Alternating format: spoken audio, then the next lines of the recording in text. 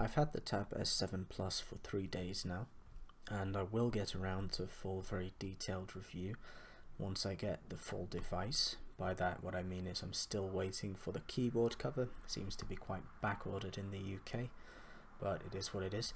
In the meantime I wanted to do a quick video just on pen latency because this is something that Samsung was talking about in their Galaxy Unpacked event. They were talking about 9 milliseconds of pen latency and I wanted to show what that's really like. So I got my Note 9 out, captured some 960 frame per second super slow-mo footage. Uh, I couldn't get that to focus on a dark background. I use everything in dark mode, so this is mostly in light mode, this video, just so I could get it to focus. So capturing at 960 frames per second, it plays back at 30 frames per second, so we should be running at 1 over 32 of real-time speed. So you can see this really, really slowed down, and you've got to slow it down this much to see the gap, the, the lag in Samsung Notes, because it performs really well. Although interestingly, the pen tool seems to perform worse than all the others, but for instance, the pencil tool comes out really nicely. It's really responsive to the naked eye.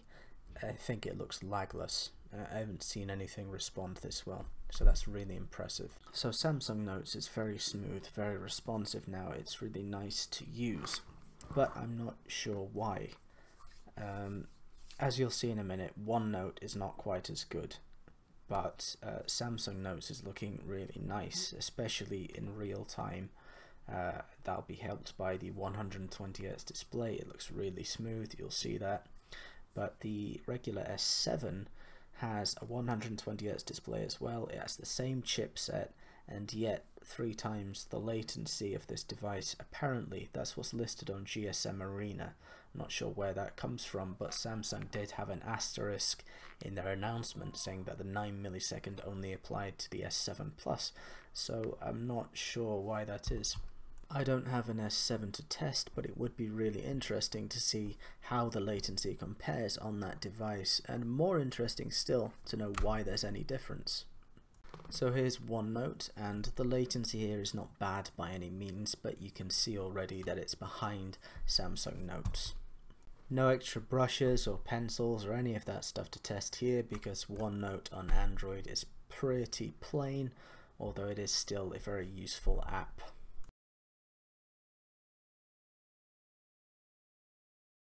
So let's move on to the real-time clips and here's OneNote. It works perfectly well really even though it's got a little bit more pen latency than Samsung Notes or a noticeable amount more if you switch between them but it's not really an issue. The app's pretty smooth aside from its ink shifting issue. I'm not going to go into that. It's just about latency. You can see that it writes well but you're not getting the full impression of it right here because I captured this at 60 frames per second and the display is 120 hertz It refreshes at twice that rate so everything looks much better in person and it is really smooth.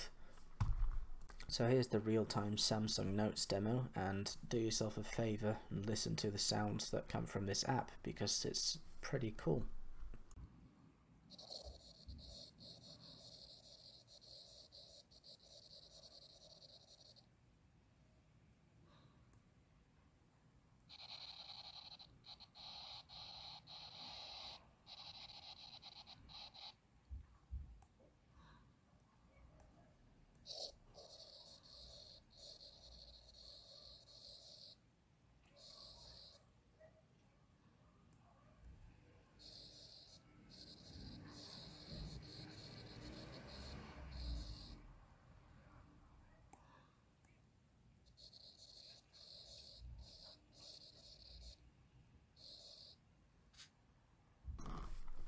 So you can see that Samsung Notes is very responsive, sounds very nice. I think the sound effects are very soothing.